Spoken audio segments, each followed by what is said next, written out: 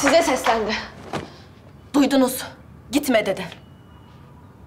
Bu nasıl bir duygusuzluk ya? Halini görmediniz mi? Tam karşınızdaydı. Nasıl bir çaba harcadığını gerçekten görmediniz mi? Onun için ne kadar zor olduğunu farkında değil misiniz?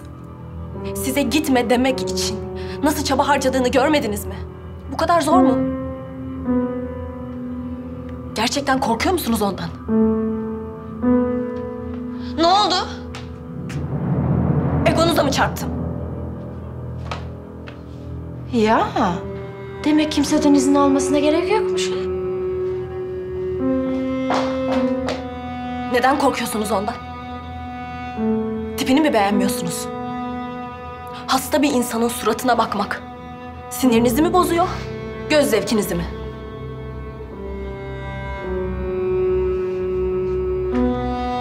Kaç bakalım kaç. Korkak. Kuzeninden korkan korkak. Cenk. Cenk. Cenk oğlum dur. Üzerinde bornoz var.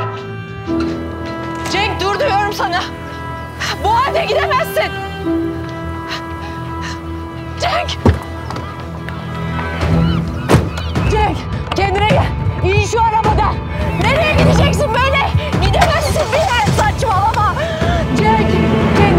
Lütfen. Lütfen kendine gel. Dur Cenk. Cenk.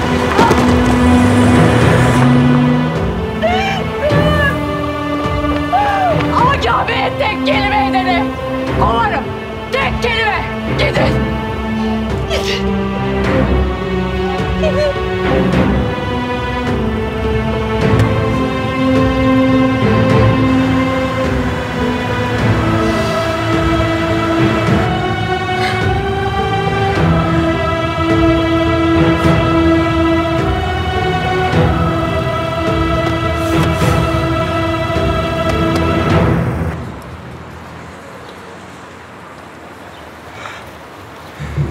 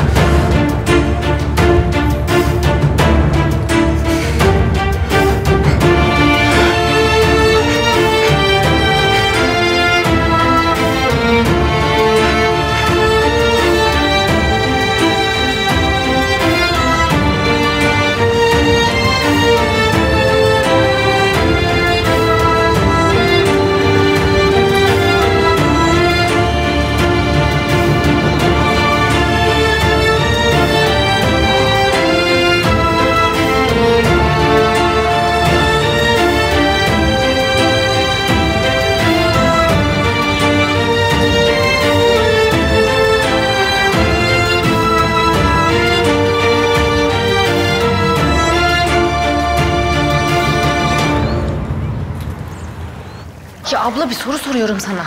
Ne oldu yukarıda diyorum. Niye kavga ettiler diyorum. Cevap vermiyorsun ya. Annesiyle mi kavga etti? Benim adım geçti mi? Bir şey söylediler mi sana? Ya cevap versene. Niye senin adın geçecekmiş? Hadi söyle. Niye adın geçecekmiş? Niye kavga edecekmiş senin yüzünden annesiyle? Yukarıdaki bütün işleri serip oğlunu havuza hizmet etmeye indim ya ona kurulmuştur kesin o. Yoksa niye olsun canım? Allah Allah. Sana soran da kabahat zaten. Ben kendim öğrenirim. Evet şimdi çekiyorsun. Çek. Çek. Çok güzel. Sen de işine bak. Çok güzel. Evet çok iyi. İşine bak. İşine bak. Çekebildiğin kadar çekiyorsun. Bırak. Nedim, yapabilirsin gerçekten. Hadi. Durma.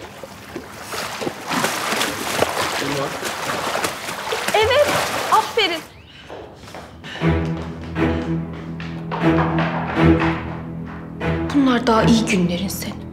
Çot. Hadi. Hadi Nedim. Bak doktorun dediğine bak. Kolları unut, bacaklara odaklan. Hadi.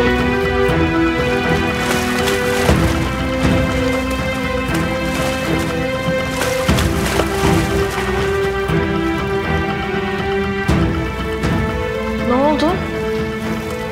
Niye durdu? Hadi Nedim Bey. Hadi sen başaracaksın bunu. Devam. Evet aynı şekilde.